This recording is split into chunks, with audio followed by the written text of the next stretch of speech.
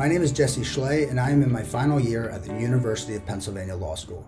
Today I will be discussing the case of National Federation of Independent Business, or NFIB, versus Sebelius. In 2010, Congress enacted the Patient Protection and Affordable Care Act, or the ACA, often called Obamacare. The goal of the ACA was to increase the number of Americans covered by health insurance and to reduce the cost of health care. The Act contained two provisions of relevance an individual mandate and a Medicaid expansion provision. The individual mandate required individuals, except those who were exempt or received health insurance through their employer or a government program, to purchase a minimum level of health insurance from a private company. If they failed to do so, they would have to pay a penalty to the IRS when they paid their normal taxes. The Medicaid provision required states to accept its expansion in their state in order to continue receiving federal funds for Medicaid. The expansion broadened the scope of the Medicaid program and increased the number of people that the states must cover.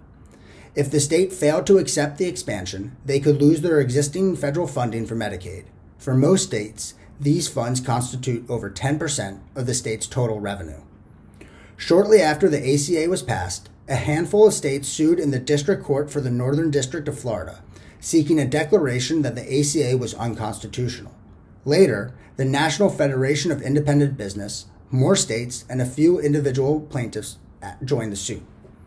The party Sebelius is Kathleen Sebelius, who was the United States Secretary of Health and Human Services at the time. The district court ruled that the individual mandate was unconstitutional. Thus, the entire act was invalid because the mandate could not be severed from other provisions.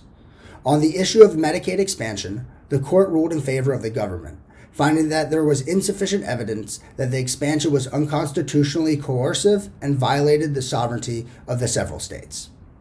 The case was appealed to the 11th Circuit, which affirmed the individual mandate was unconstitutional and that Medicaid expansion was not unconstitutional. However, it reversed the district court's finding about severability, and they held that the mandate could be severed without invalidating the remainder of the ACA. Two of the key issues before the court, and that you must now consider, were Is the individual mandate unconstitutional? And if so, does Congress get its power from the Commerce Clause or the Taxing and Spending Clause? And two, is the Medicaid expansion unconstitutional? Meaning, can the can the federal government force states to expand the availability of Medicaid? To answer these questions, considering the following provisions of the Constitution. The Commerce Clause, Article 1, Section 8, Clause 3, authorizes Congress to regulate commerce with foreign nations among the several states and with the Indian tribes. Basically, it allows Congress to pass laws that regulate commerce amongst the states.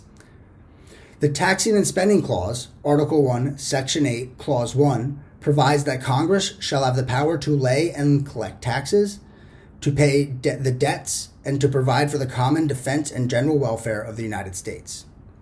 Congress may exercise the powers that the Constitution grants it, subject to the individual rights listed in the Bill of Rights.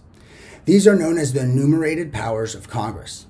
In addition to the specifically delegated powers given to Congress, Article 1, Section 8 provides that Congress shall have the power to make all laws that shall be necessary and proper for the carrying into execution of the foregoing powers. Federalism, or the division of powers, is one of the most important and innovative concepts to the Constitution, although the word federalism never appears itself. It asserts that both federal government and state governments are sovereign. Federalism is the sharing of power between both these national government and the state governments. Americans still debate about the proper role of the national government versus the states. Consider whether or not the federal government wields too much power when it can conditions state funding on a way that the state must run their Medicaid programs. So, what arguments do you have about the constitutionality of the Affordable Care Act?